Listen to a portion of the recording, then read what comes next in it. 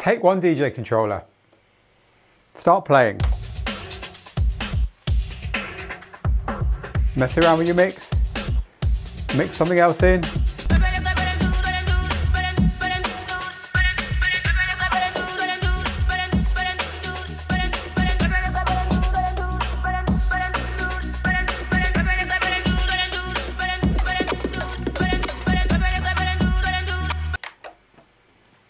Nothing unusual there, right? We've done it lots of times. We're all DJs. But what's really unusual is what's powering this DJ controller because I've got no DJ software at all on that computer. Instead, we're running Beatport DJ Public Beta. It's a web-based DJ app like Serato, Rekordbox and Traktor and so on, but that works with Beatport Link, Beatport's streaming service. It works on Windows, Mac, even iPad at a push, and it runs completely in your browser. It's got MIDI, sound card support, auto mix, the whole Beatport link library, and your playlists and purchases. In this video, I'm going to give you a quick tour of this. I'm going to explain what it does and what it doesn't do. And I'm going to show you how you can jump on, Beat, Beat, on Beatport DJ right now because this has just gone into public beta because that means anyone can have a go at this. So if you find this useful uh, and you enjoy what I tell you about this app, please do follow, subscribe and share. Right, so let's get started with talking about this app. Now the first thing Beatport says, is this is not meant to replace a normal piece of DJ software but I'm going to tell you it does get close. They're saying it's useful for things like playlisting, like music discovery, and then once you've discovered new music on Beatport, which as we're going to see, the whole Beatport link library is plugged into this. As soon as you've discovered the music you want and made playlists with it, you can put cue points on those tracks and so on. You can then take those playlists into your normal DJ software because a lot of DJ software works with Beatport Beatport Link nowadays, which is again their music streaming side of the beatport.com website. So Serato, Rekordbox, uh, Algoriddim's DJ, Virtual DJ, and so on. These have all got this streaming service built in. So that's the idea. It's not meant to replace DJ software, but it does get quite close. So it's a good way of practicing your sets in a browser.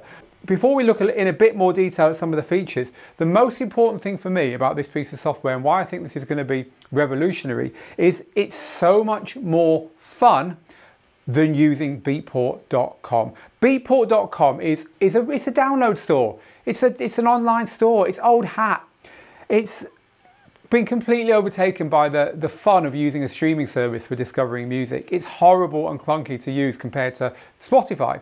And it's now been completely eclipsed by the new software. The new software that we're looking at here makes the Beatport library better than using Spotify, better than using Apple Music, more immersive. It leapfrogs all those services, especially with this incredible auto mix feature here, which I'm going to show you in a minute how that works. In other words, it completely takes what beatport.com has got and turns it into something that is genuinely useful for DJs. And I think this is very, very exciting. So let's start by looking at it and let's look at the DJ features first at the top here. So to start with, we have, start that, start that, uh, that track is just loaded there playing. Uh, we've got our filter. I've shown you some of this stuff already in the little intro. You've got your lows, mids and highs. Now you've got a gain control. Some controllers don't have a gain control on it. Obviously you can see you've got your crossfader and your up faders there. Uh, you've got cue points, so I can start to add cue points onto my tracks. These are going to come across into your DJ software. It's got beat jump. It's really nice and useful for when you're just auditioning tracks and so on and practicing mixes on this thing. It's got full effects here. So you've got this whole set of effects. This is incredible. Remember, this is all running in your browser. You want proof? Let's get out of full screen there. It's all just running in Chrome. So I'll go back into full screen because it's, uh, it's nicer. So we've got our effects here, we've got slicer, which is tied to a filter. There's a filter up,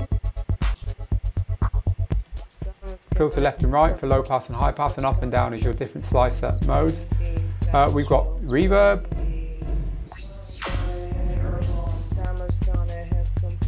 picture,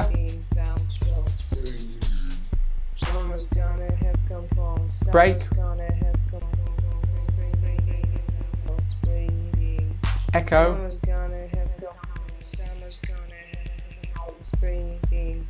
crusher, that nice 8-bit bit. Crush effect, flanger,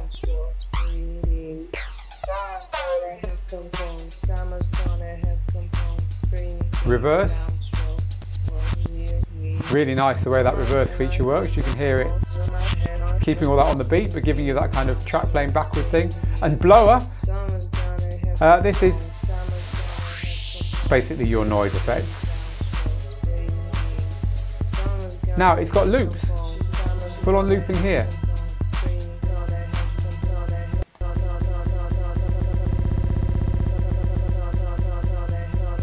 And it's even got, incredibly really, beat gridding. Go in here and you can adjust your beat grids on your tracks. Remember this is all running in your browser and you've got your zooming in and out of your waveforms here as well. Now that stuff's quite incredible really when you think about it.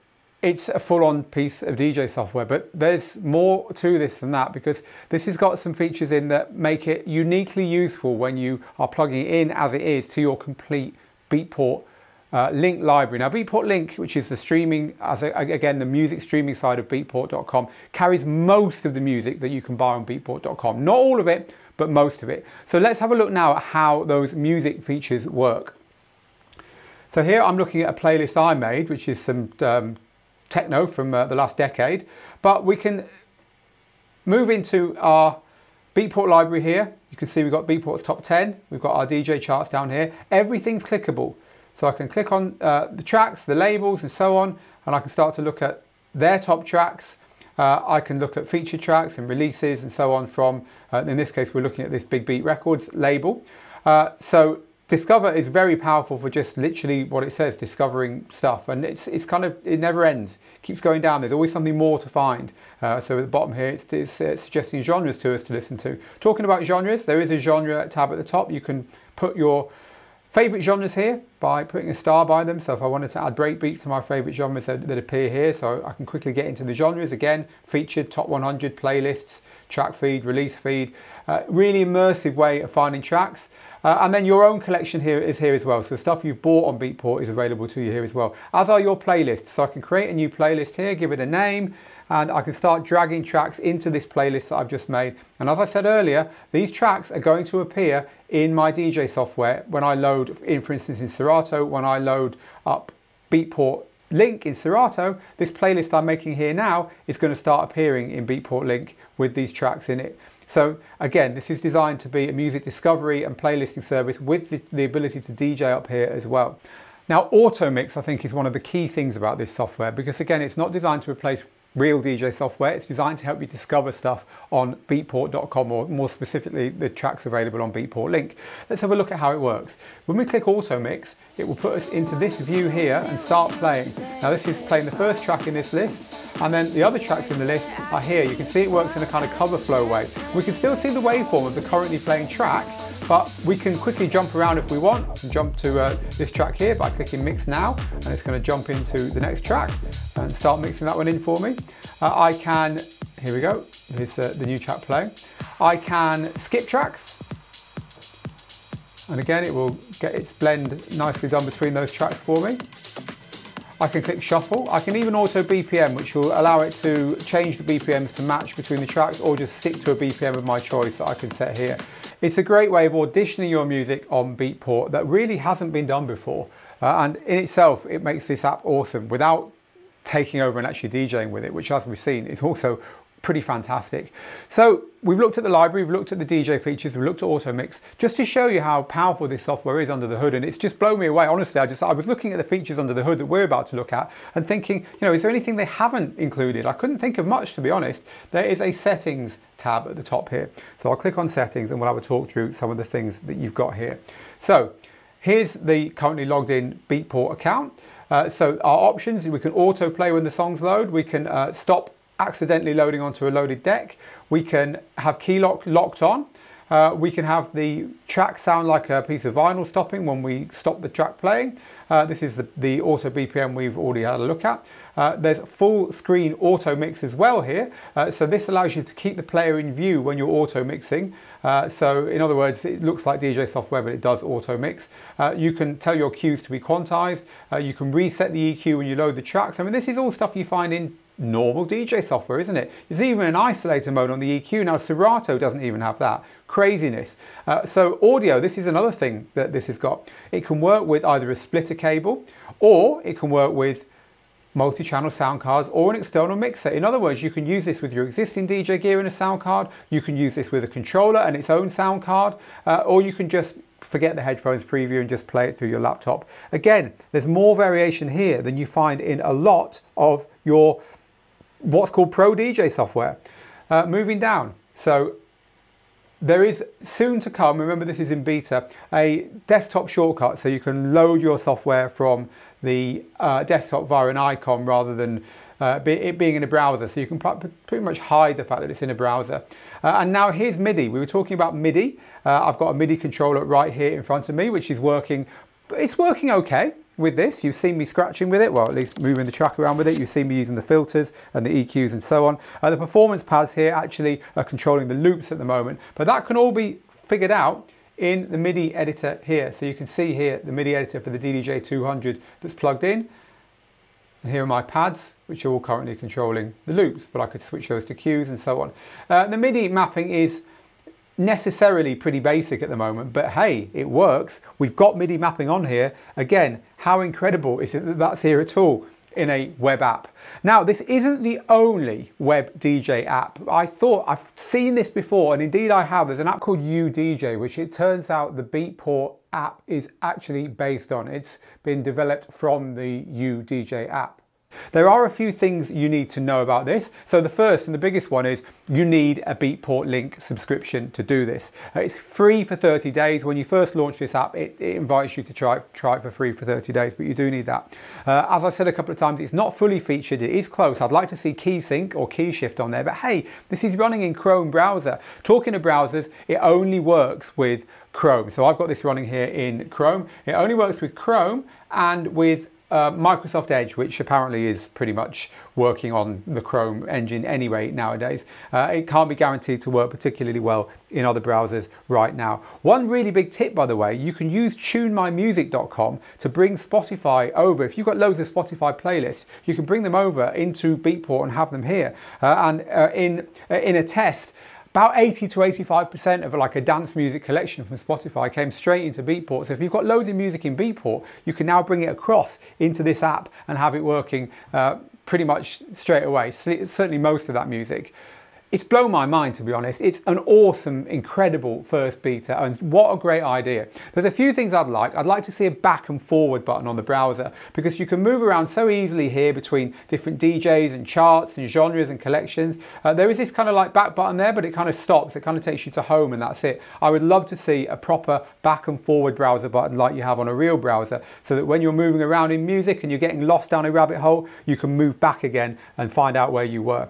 Uh, I would love to see a phone phone version of this. Wouldn't that be cool, having this so you can do your playlisting and stuff on your phone? I I'm sure they must be working on a mobile app. I think that would be game set and match for this app. And look, just one other thing, which I say every time we play with Beatport, because Beatport is underground electronic music.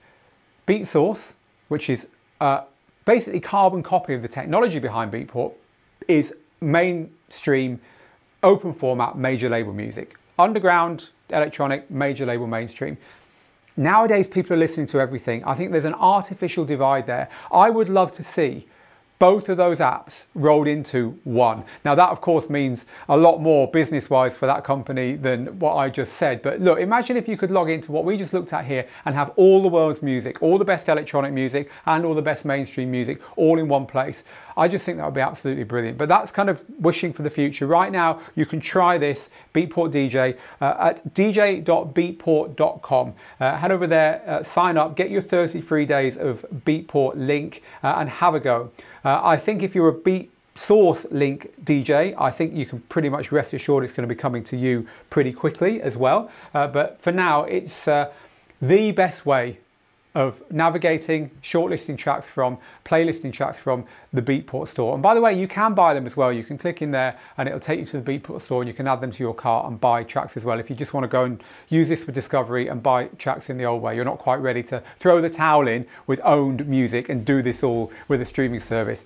But that's Beatport DJ, the public beta. We've only been playing with it for an hour or two. We're really, really impressed with it. Uh, and if you want to know more, then head over and look at the written version of this review, of this first look review on digitaldjtips.com. I've been Phil Morse for Digital DJ Tips. Hope you've enjoyed this. Now get good, get out there, make the moments, and I'll see you again very soon.